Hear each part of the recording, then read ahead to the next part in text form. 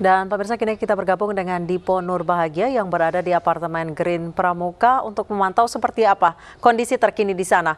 Dipo, apakah sejauh ini sudah ada tanggapan dari pengelola apartemen Green Pramuka?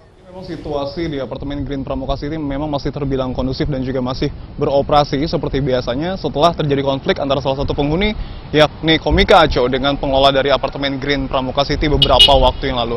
Namun walaupun terbilang masih kondusif dan masih beroperasi seperti biasa, tadi pada saat kami mencoba mengkonfirmasi dengan pihak pengelola dari apartemen Green Pramuka City, tadi kami sempat menjumpai beberapa warga yang mengeluhkan terkait dengan pengelolaan ataupun pelayanan yang diberikan oleh uh, manajemen dari apartemen Green Pramuka City. Salah satu yang tadi menjadi sorotan ialah adanya satpam yang bukan merupakan satpam resmi dari apartemen Green Pramuka City, namun hanya satpam berstatus BKO ataupun diperbantukan begitu, namun sudah berjaga di beberapa wilayah yang terdapat di apartemen Green Pramuka City dan itu dikeluhkan oleh warga. Sebelumnya memang Aco sudah ditetapkan sebagai tersangka ya, dikarenakan uh, mengkritik ataupun uh, mengkritik apartemen ataupun pengelola dari PT Apartemen Green Pramuka City ini dikarenakan terdapatnya sejumlah pelayanan yang dinilai uh, kurang baik begitu. Dan ini memang tadi pada saat kami menjumpai warga ini pun sejalan dengan apa yang dirasakan oleh warga. Setidaknya ada empat kritikan ataupun uh, sampaian yang diberikan Aco kepada pengelola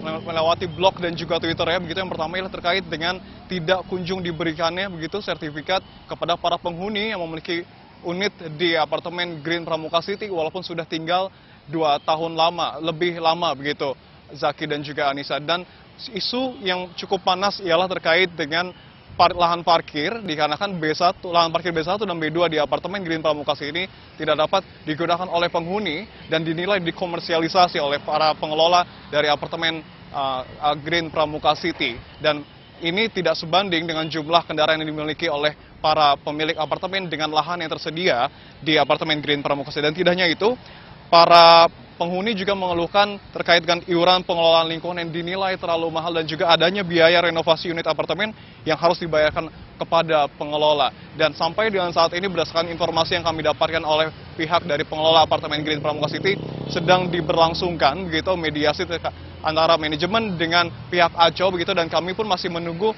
sampai dengan saat ini apa hasil mediasi yang dilakukan oleh kedua pihak tersebut di Polda Metro Jaya. Zaki dan Anissa kembali kepada Anda di studio.